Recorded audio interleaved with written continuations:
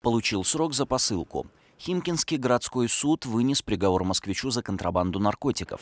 32-летний молодой человек приобрел через интернет 200 граммов наркотиков растительного происхождения в Республике Перу.